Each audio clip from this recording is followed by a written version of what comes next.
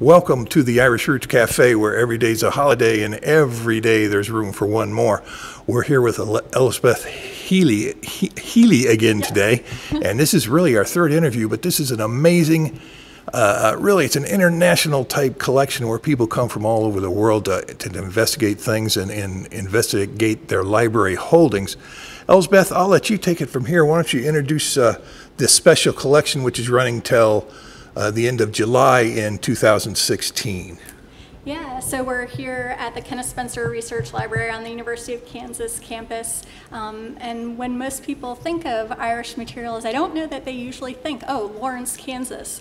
Um, but actually, thanks to an amazing Irish collector named P.S. O'Hegarty, we have really, truly world class collections here. And because of that, um, in this sort of period of commemorations um, for Irish history, we thought we had to take advantage of uh, you know the centenary of the Easter Rising to sort of display really the depth and breadth of our collections here. We have so much material on this subject um, that we really did want to do an exhibition that would provide sort of cultural and historical context for the Rising, and then look at um, the aftermath of the Rising and uh, Irish independence. So um, this is an exhibition that will be up through the end of July, and it's titled Easter 1916 Rebellion and Memory in Ireland. And how can people, if they come, what are the hours for the exhibit?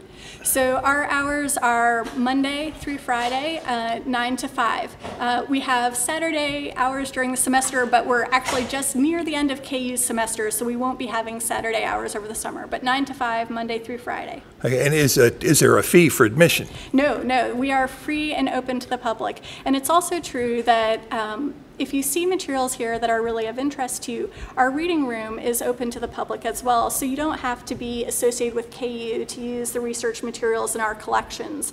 Um, they're open to scholars from around the world, and we have scholars from around the world come and visit to use them. Um, scholars here on campus, students, the public. Um, we're really uh, open for you because the materials here are rare and unique. We know that we want to make them available to the broadest possible uh, audience. And so you just register at our front desk. Um, if you want to use materials in our reading room and then go into our reading room, request the materials and we'll bring them to you at your at one of the desks there. Okay, and this is the special library. Yes, if, if so they get lost, do they ask for special collections? Yes, yes, yes. So if you're trying to find us, we are directly behind Strong Hall, which is the main administrative building on campus. We're between Strong Hall and the Campanile, which is sort of the bell tower. Okay, yeah, if you look for that big bell tower, that helps. And there's always somebody on campus that can help you out. Yes. Now, do you want to show us a few things that sort of represent the type of holdings you have? Yeah, so I thought we could look at some of the cases um, and just get a sense of the variety of materials that we house here. Um, so in this case, um, this case is devoted to some of the other rebellions leading up to 1916. And so you'll see um, uh, an item that sort of is a later item, but looking at Emmet um, and the 1803, his 1803 rebellion. And then we also have, you know, Wolfe Tone. Um, we have the question of you know, Union. Um, and then here we have some materials related to Charles Stewart Parnell and the attempt to gain home rule um, and uh, some measure of independence through constitutional means. And so here is a cartoon um, you'll see that appeared in United Ireland. Uh, and there's Erin waving to her forces um, for the county convention. You sort of see a figure, it's Parnell, um, behind her with the harp in the background as well. And then um, a speech, and you can actually see P.S. O'Hegarty, that collector, I mentioned his name, um, inscribed on the cover of this speech, sort of his uh, inscription, his notation that, you know, he has purchased this and collected it. Um, but this is a speech that Parnell delivered on the Government of Ireland bill. Uh, before uh, votes were to go on that bill. It did not pass. so that was the yes. first home rule bill, which did not pass. Um, and really, after that, there was sort of a long period of time where um, the constitutional attempt to gain home rule sort of went into um, a sort of a dormant period for a while, um, especially with the scandals associated with Parnell. So if we walk over here, the next case looks at some of the cultural movements um, and political movements in the period sort of leading up to 1916. And so you'll see sort of Irish cultural movements like um, the interest in Irish language as represented by the Gaelic League. Um, here uh, we have an Irish language uh, sort of course book that Patrick Pearse, one of the leaders of the Easter Rising, um, produced um, to help teach the Irish language. Um, and then you also have um, overtly political materials like this, um, the newspaper Irish Freedom. And here on this particular issue, you'll see the stamp, and you can maybe barely see it in the footage, but that purple stamp is of Tom Clarke's tobacconist and sort of news shop. Um, Tom Clarke, again, was one of the leaders of the Easter Rising and one of the men executed uh, after its failure.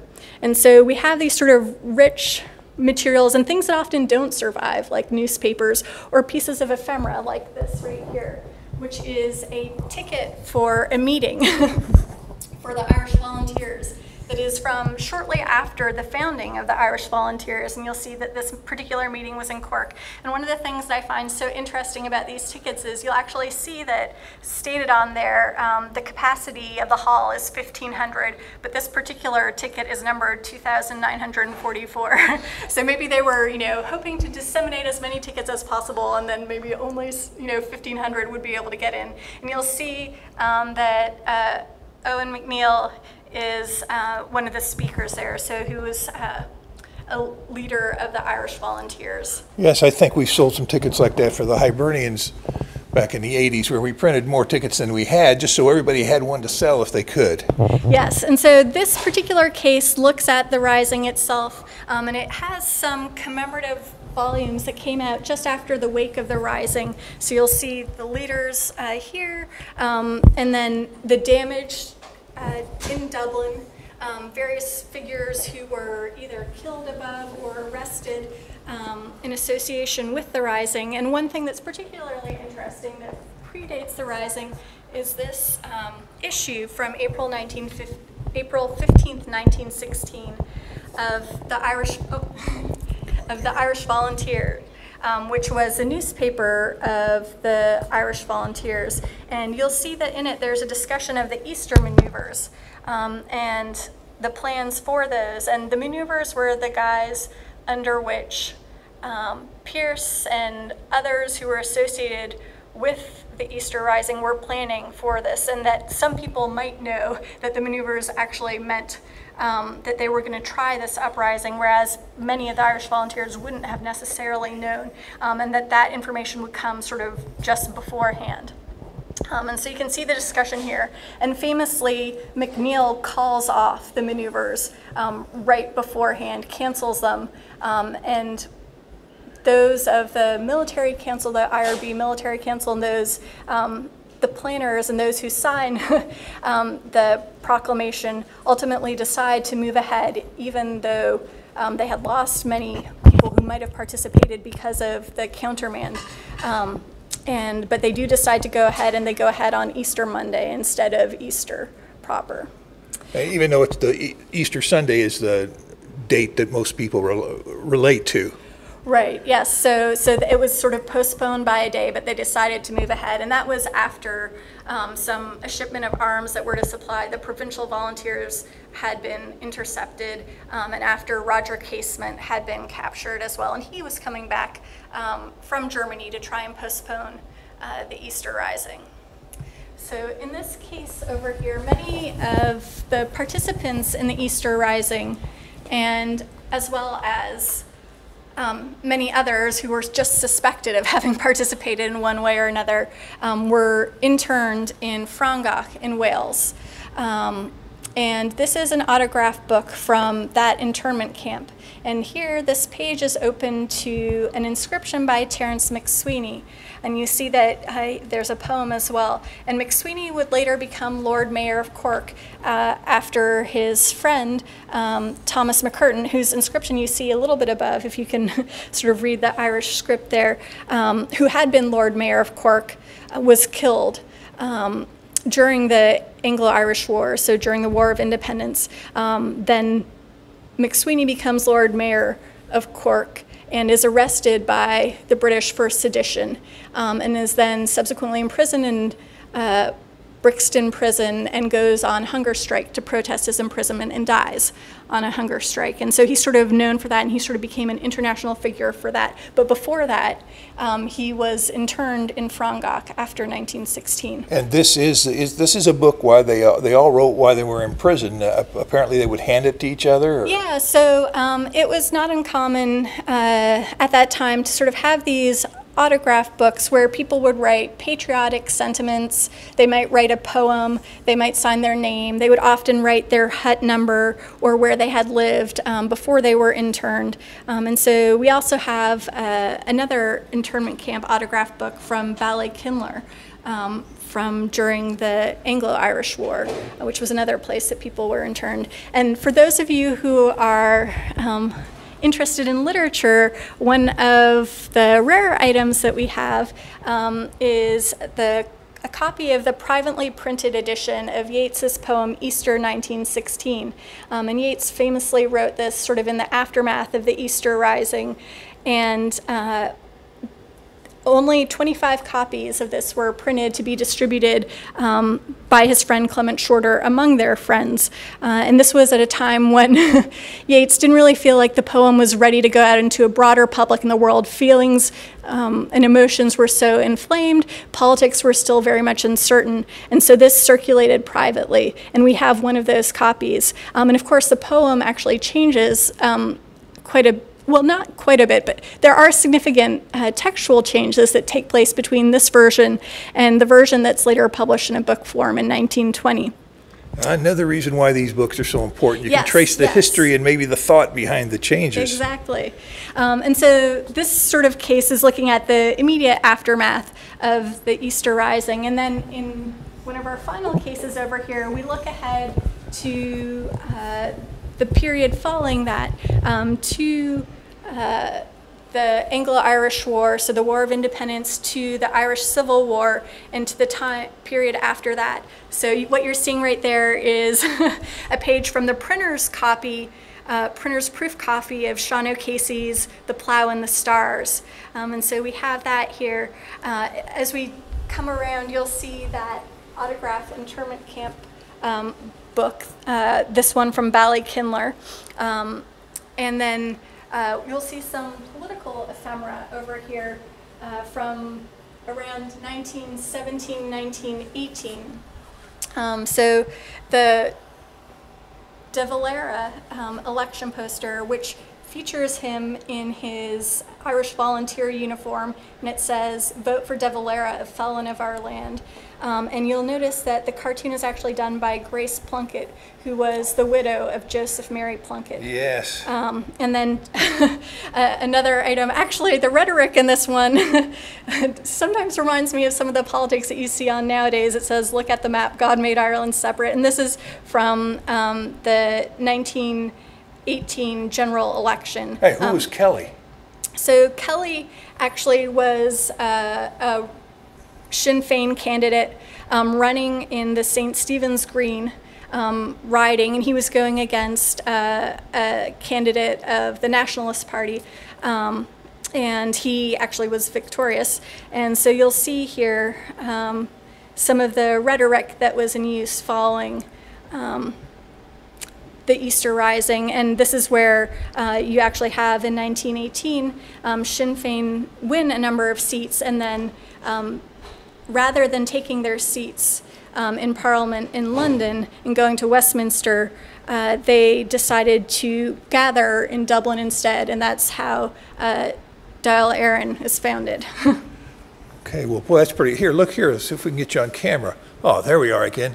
I've, I've been having to run out, run around with this new experimental system I've got. Yeah. And we're going to have to work on the sound. But boy, I, I thought I'd stump you on who was Kelly, but no, you had just uh, you had it all again. Where do you want to go next? Well, and I would just say, you know, in terms of the materials here, one of the things that we've hoped to do is to capture sort of the complexity of the politics um, and the sort of range of opinions that take place. And though there aren't necessarily very many unionist items in this particular exhibition, in part because um, O'Hegarty's collection, uh, its strength is not necessarily in unionist materials.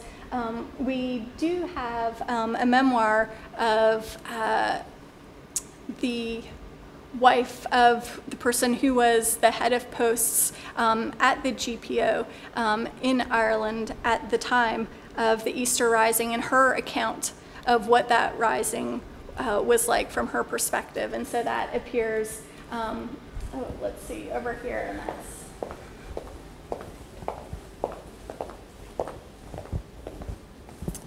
Uh, I think she goes on the title page by Mrs. Norway, but her name was um, Mary Louisa Norway, and this was the Sinn Féin Rebellion um, as I saw it.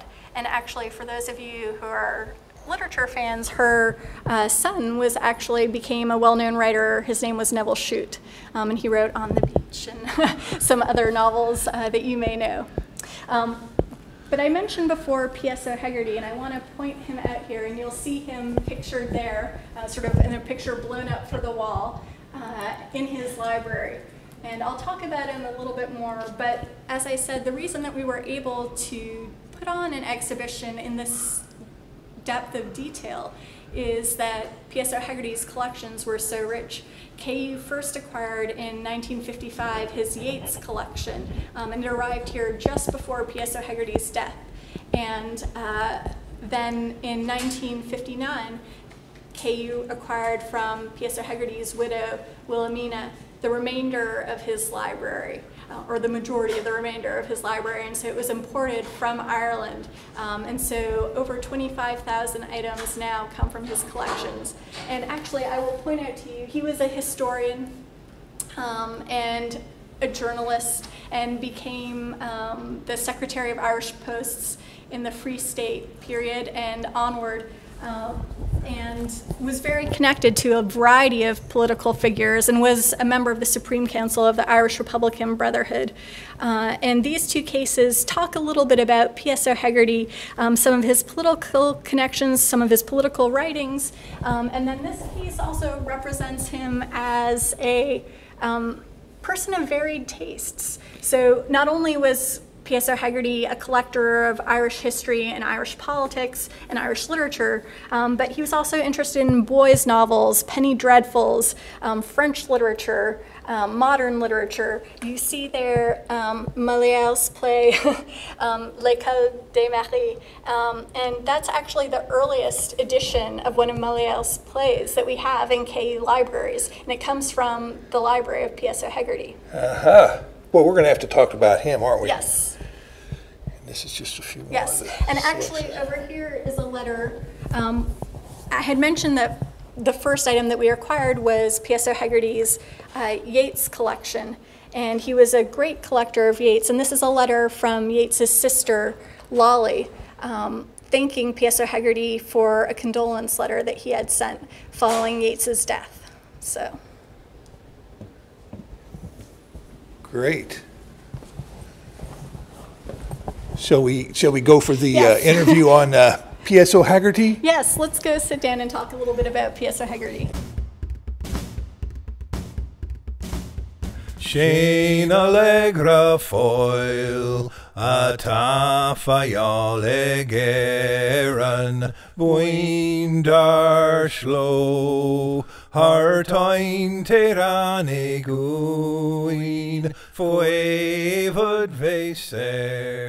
eguin foevod veser shan cheer ar shin cheer fasta niag her fainter ana fain